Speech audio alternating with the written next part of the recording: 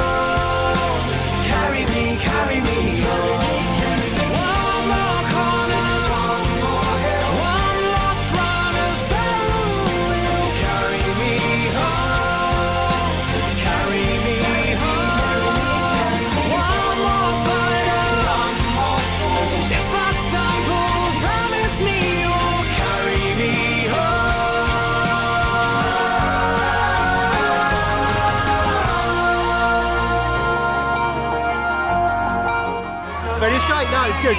There's a kind of Dunkirk spirit going, come on, we can do this. But it was hot and hard and long.